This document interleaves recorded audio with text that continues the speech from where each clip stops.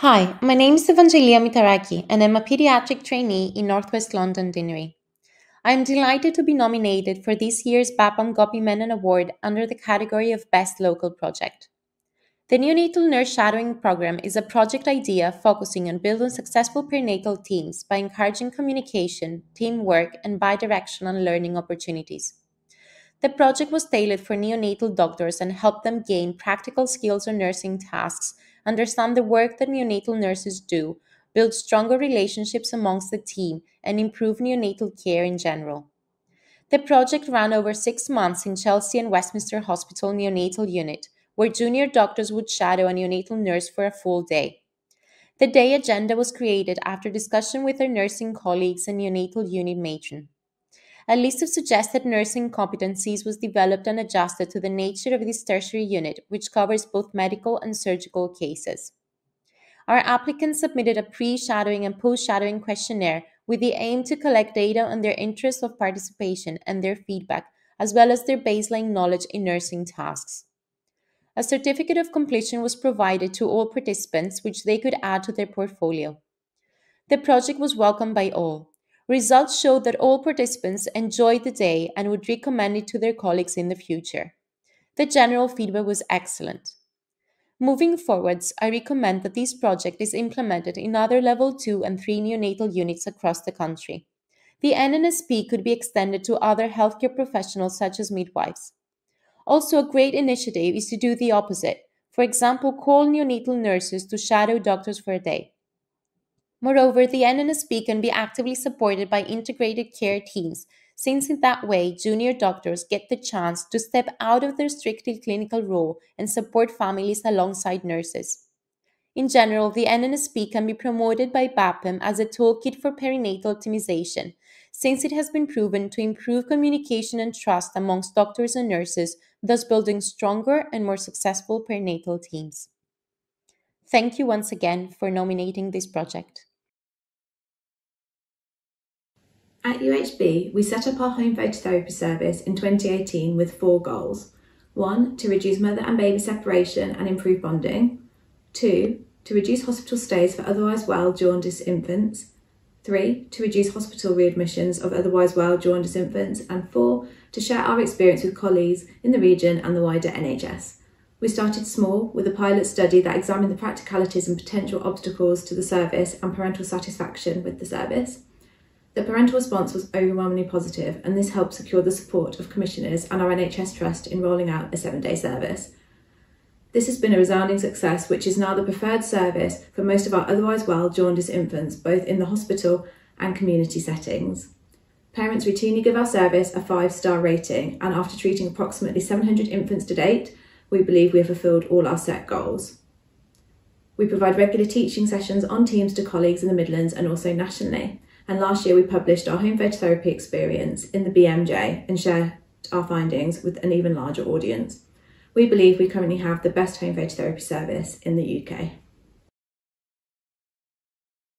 Reducing term admissions to neonatal units is an NHS improvement priority. Separation of mother and baby may interrupt the bonding process with consequences for both maternal and neonatal health and should only be undertaken where necessary. We are passionate about keeping families together. It was noted that our term admission rate was approximately 5%, with respiratory admissions accounting for around half of these. Many require only a short period of CPAP but are routinely commenced on IV antibiotics and fluids, necessitating a period of establishing enteral feeds, further prolonging separation, as well as exposure to broad spectrum antibiotics. We felt that it would be possible to reduce these figures. We developed a pathway for management of term babies with respiratory distress at delivery. We aim to give up to half an hour of CPAP in the delivery room, and then a further half an hour of CPAP via our transport incubator CPAP system, either in the delivery room or on the neonatal unit if staffing is unable to facilitate this. At the one hour time point, we make a decision as to whether CPAP and admission to the neonatal unit is required, or whether we can return the baby to routine postnatal care after a period of 15 minutes of monitored observation. Following implementation in May 2021, we are able to reduce admissions for respiratory support following delivery. Of all infants managed according to the pathway, 64% were able to return to routine postnatal care. There were no adverse complications. Most of the CPAP was given in delivery suite with parents present. However, due to staffing constraints, it was necessary to move some of the babies to the neonatal unit for a brief period of time. For the future, we aim to move towards continuing the whole hour of CPAP at the location of delivery to further minimise separation of families, as well as continuing to monitor for potential adverse outcomes. Hello, I'm Dr. Sandeep Shetty, representing the neonatal team at St. George's University Hospital NHS Foundation Trust, and thank you for this wonderful opportunity. Neurally adjusted ventilatory assist, otherwise known as NAVA, is a novel mode of respiratory support. NAVA provides a synchronized pressure assistance proportionate to diaphragmatic electrical signals detected via a modified nasogastric tube called a NAVA catheter. There is emerging evidence that NAVA as a form of respiratory support has several advantages, including lower extubation failure rates, shorter durations of invasive and non-invasive ventilation, and improved nutritional outcomes. A comprehensive program was introduced at St. George's Neonatal Unit in June 2019 and NAVA now successfully established. NAVA is now a standard of respiratory support care for extubation in extremely premature infants and infants who require long-term ventilation. A dedicated MDT ventilation team delivered the change and responded to feedback.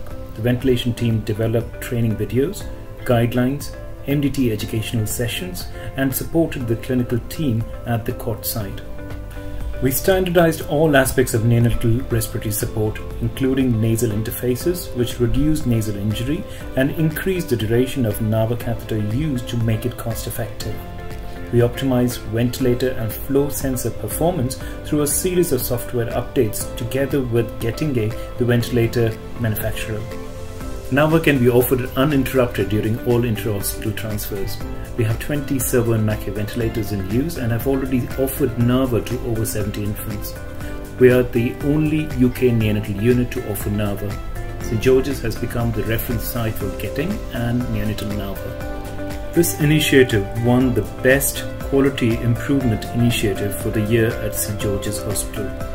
We are very grateful to our parent-led St George's First Touch charity for the generous funding allowing purchase of surveillance devices and funding of NAVA education and training.